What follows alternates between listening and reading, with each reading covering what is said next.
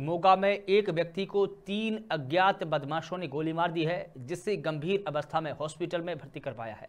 दरअसल, नवदीप सिंह, पुत्र मनजीत सिंह, सुबह अपनी कार से बारात लेने जा रहा था। इसी दौरान रास्ते में अज्ञात लोगों ने गोली मार दी। मोगा पुलिस मामले की जाँच कर रही है।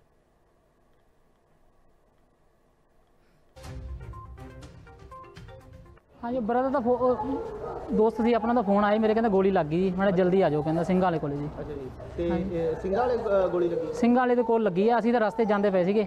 ਤੇ ਕੰਮ ਕੀ ਕਰਦੇ ਹੋ? ਇਹ ਗੱਡੀ ਚਲਾਉਂਦੇ ਜੀ। ਕਾਦੀ ਇਹ ਕੋ ਬਰਾਤ ਦੀ ਗੱਡੀ ਬੁੱਕ ਸੀ ਅੱਜ ਜੀ। ਅੱਛਾ ਜੀ। ਸਿੰਘਾਂ ਵਾਲੇ ਜਾ ਰਹੇ ਸੀ? ਹਾਂਜੀ ਹਾਂਜੀ। ਮੋਗੇ ਤੋਂ ਸਿੰਘਾਂ ਵਾਲੇ ਪਾਸੇ ਨੂੰ ਜਾ ਰਹੇ ਸਿੰਘ ਹਾਂਜੀ ਹਾਂਜੀ। ਅੱਛਾ ਜੀ। ਤੇ ਉਦੋਂ ਬਾਅਦ? ਉਦੋਂ ਬਾਅਦ ਸਾਨੂੰ ਫੋਨ ਆਇਆ ਕਹਿੰਦਾ ਜਲਦੀ ਆ ਜਾਓ ਮੇਰੇ ਗੋਲੀ ਲੱਗ ਗਈ ਕਹਿੰਦਾ। ਅੱਛਾ ਜੀ। ਤੇ ਅਸੀਂ ਪਾਵਰ ਗ੍ਰੇਡ ਕੋ ਪਹੁੰਚੇ ਸੀਗੇ ਤੇ ਗੱਡੀ ਸਾਨੂੰ ਨਾਲ ਹੀ ਅਸੀਂ ਵਾਪਸ ਆ ਗਏ ਕਿੰਨੀਆਂ ਜੀ। ਗੋਲੀਆਂ ਵੱਜੀਆਂ? ਵੀ ਇਦਾਂ ਕਹਿੰਦੇ ਦੋ ਕਹਿੰਦੇ ਡਾਕਟਰ ਸਾਹਿਬ ਲੱਗੀ ਆ। ਕਿੱਥੇ ਇੱਕ ਤਾਂ ਇੱਥੇ ਕਹਿੰਦੇ ਇੱਕ ਨਹੀਂ ਆਪਾਂ ਨੂੰ ਪਤਾ ਕਿੱਥੇ ਲੱਗੀ ਆ ਤੇ ਹਾਂਜੀ ਹੁਣੇ ਹੁਣੇ ਪਤਾ ਲੱਗਿਆ ਸੀਗਾ ਵੀ ਗੁਰਪ੍ਰੀਤ ਸਿੰਘ ਇੱਕ ਫਾਇਰ ਬ੍ਰਿਗੇਡ ਦਾ ਕਰਮਚਾਰੀ ਹੈ। ਤਾਂ ਉਹ ਸਿੰਘ ਵਾਲੀ ਸਾਈਡ ਜਾ ਰਿਹਾ ਡਿਊਟੀ ਆਪਦੀ ਆਫ ਕਰਕੇ। ਉਹ ਰਸਤੇ 'ਚ ਕੀ ਦੇਖਦਾ ਵੀ ਇੱਕ ਬੰਦੇ ਦੇ ਫਾਇਰ ਲੱਗਿਆ ਹੁੰਦਾ। ਉਹਦਾ ਨਾਮ ਨਵਦੀਪ ਸਿੰਘ ਸਾਨੂੰ ਮਨਜੀਤ ਸਿੰਘ ਪੁਰਾਣਾ ਮੋਗਾ। ਤੇ ਉਹਨੂੰ ਲੈ ਕੇ ਉਹਨੇ ਐਡਮਿਟ ਕਰਾਇਆ ਜੀ। ਫਾਇਰ ਇਹ ਤਾਂ ਡਾਕਟਰ ਸਾਹਿਬ ਦੱਸਣਗੇ ਕਿੰਨੇ ਆ ਜੀ। ਵੈਸੇ ਸੀਰੀਅਸ ਉਹਨੂੰ ਰੈਫਰ ਕਰਦਾ ਡਾਕਟਰ ਸਾਹਿਬ ਨੇ। ਉਹਦੇ ਵੱਲੋਂ ਕੋਈ ਦੱਸਿਆ ਗਿਆ ਪੀੜਤ ਵੱਲੋਂ?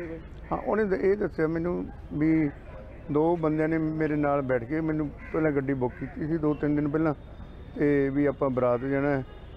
ਅਸੀਂ ਕਹਿੰਦਾ ਉਧਰੋਂ ਗੱਡੀ ਤੇ ਨੰਬਰ ਚੁੰਗੀ ਦੀ ਸਾਈਡ ਕੋਲੋਂ ਤਿਆਰ ਕਰਾ ਕੇ ਸਿੰਘਾਂ ਨੂੰ ਲੈ ਕੇ ਮੈਨੂੰ ਚੱਲ ਪਏ ਸੀ ਜਦੋਂ ਅਸੀਂ ਚੱਲੇ ਤੇ ਅੱਗੇ ਜਾ ਕੇ ਸਿੰਘਾਂ ਵਾਲੇ ਉਰਲੇ ਪਾਸੇ ਕਹਿੰਦਾ ਉਹਨਾਂ ਨੇ ਮੇਰੇ ਫੈਰ ਮਾਰੇ ਹਾਂਜੀ ਬ੍ਰਦਰ ਦਾ